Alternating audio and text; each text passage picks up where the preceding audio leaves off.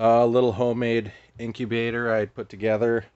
Uh, styrofoam uh, cooler I bought from Canadian Tire.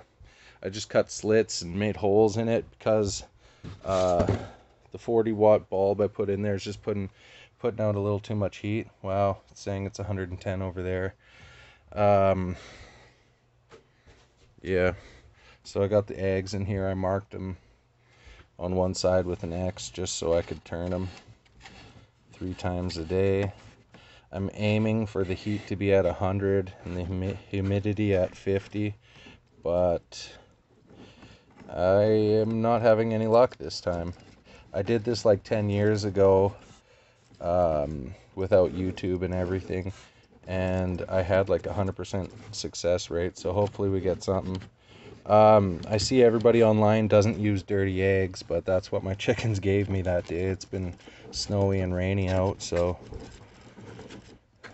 here we go. Ouch, son of a gun. Burnt myself with the bulb. So hopefully this heat isn't going to kill them off.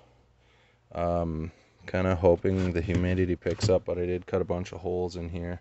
Maybe I shouldn't have done that. I might just uh, set up a fan or something in here uh, to keep the temp down.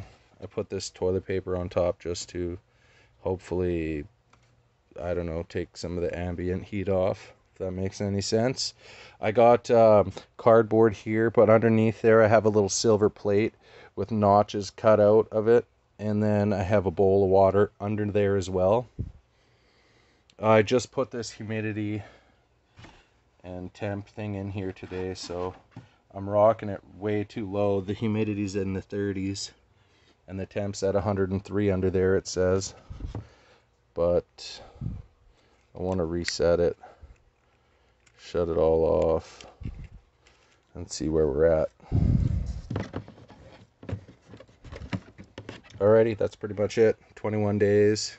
Turn them three times a day. Try to keep the heat at 150 humidity till the last, till 18 days. Then I'll stop turning them and I'll crank the humidity up to 60, 65 type thing.